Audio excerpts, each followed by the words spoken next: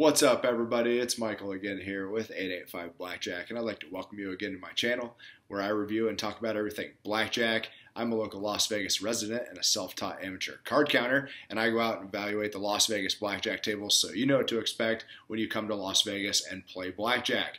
Well, I want to cover a couple casinos tonight, so let's just go ahead and jump right into it. The first casino I want to cover is an off strip casino really close to the southern edge of the strip, and it's a Boyd casino called the Orleans. Now, the Orleans offers a lot of 3 to 2 blackjack.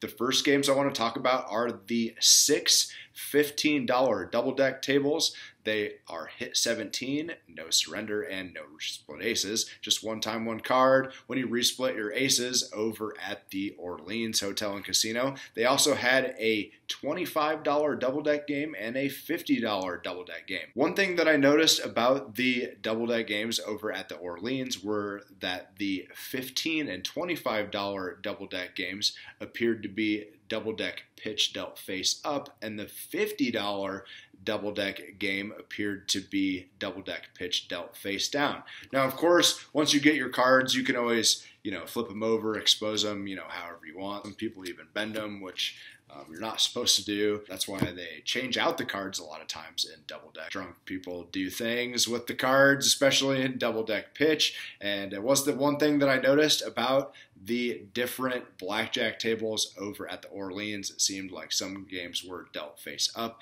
and some games were dealt face down. If you're an aspiring card counter or somebody that already counts cards, one thing to consider when it comes to double deck games is that, you know, if you're going to play a double deck pitch game dealt face down, is the order in which you see cards may change from round to round, player to player, especially at a you know a full table now that the casinos well for now the casinos are back to full capacity. Mask mandates are coming back in las vegas um, at least on the employee side of indoor businesses i believe starting tomorrow here in las vegas because of the increase in covid cases in the state of nevada. So they did have six $15 double deck games, a $25 double deck game, and a $50 double deck game over at the Orleans. So, quite a bit of 3 to 2 blackjack table availability over at the Orleans, and they did have quite a few players uh, over there. One thing that I noticed, um, and this does apply to the $50 table, at least the dealer that I was watching at the $50 table,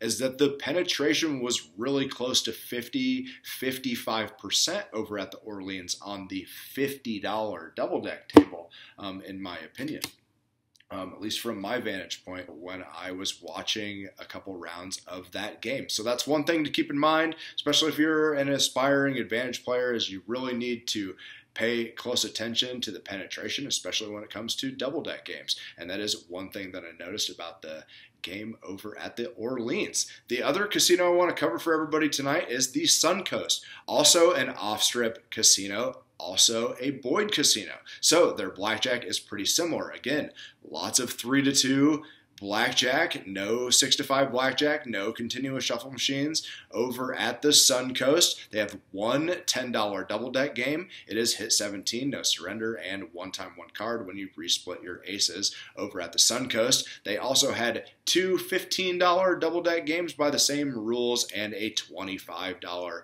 double deck game over at the Suncoast. Some of these games are hand shuffled, and some of them have a um, you know, what is it? A, you know, a shuffle master, you know, speed uh, shuffler where they're alternating the double decks, red and blue sets of double decks um, within the table. So you'll just have to, you know, pick your poison when it comes to uh, the the different styles of shuffling, as well as the different styles of double deck pitch, dealt both face up and face down. Keep those things in mind when you're out there playing blackjack in Las Vegas. And, you know, if you're not familiar with those styles of blackjack, you know, don't be afraid to, you know, avoid blackjack tables that you're not familiar with.